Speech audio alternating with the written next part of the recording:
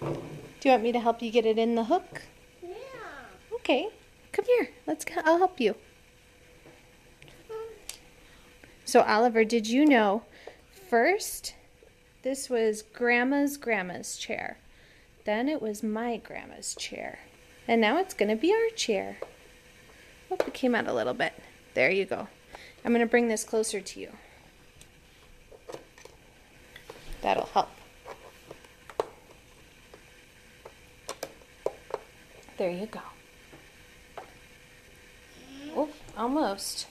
Here, I'll hold it here. Get two hands on it.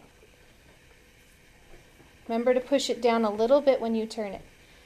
And it goes this way. There you go. There you go. You're doing a great job. You helped me get all the screws out, and now that's the last screw to put in.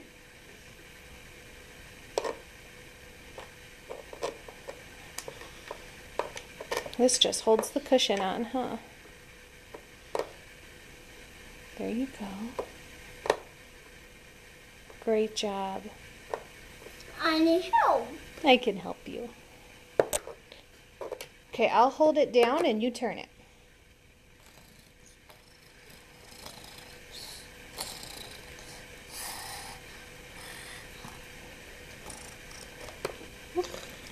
Fill out. There we go. One more.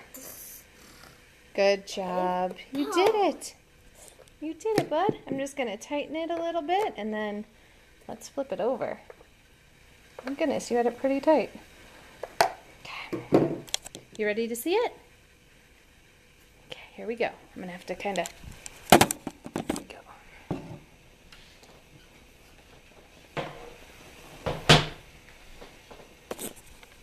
There it is.